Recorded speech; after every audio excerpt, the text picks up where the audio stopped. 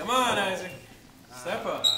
There you go. Good form, good form. Don't drop it. Um, so they're supposed to float a can one centimeter off of the water level, and if the can sinks, they fail the the activity.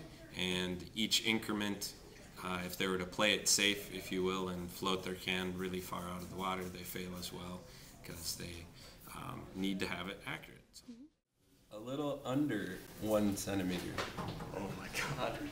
So you're you're at a, a quarter of an inch. So put down a quarter of an inch from the top. Hey, Is Justin. good? Is that an Justin, explain it. Well, I Please, don't, please, it's please, not a centimeter exactly.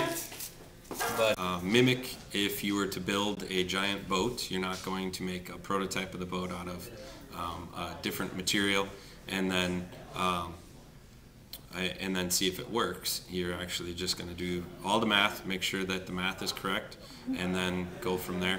We're gonna sing. Look at all that singing. Yeah, yours might sing. I don't know about yours, Dustin. Yours Oh is my God. paper.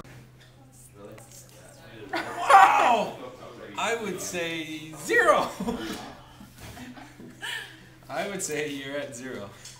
Oh, this is really impressive. And uh, we try and make it as um, as much like college as possible. So today we didn't set them up with any equations; they had to come up with it on their own. The rate. Oh, that's what I did wrong. I did the diameter. It's a one-time test, so they have to, you know, just like in the real world, uh, a lot of the times you only get one tie, uh, one attempt at something. Oh, Ricky!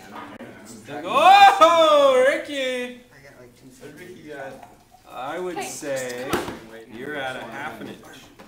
Okay, write a half an inch down as a result, which was really good. Nice job.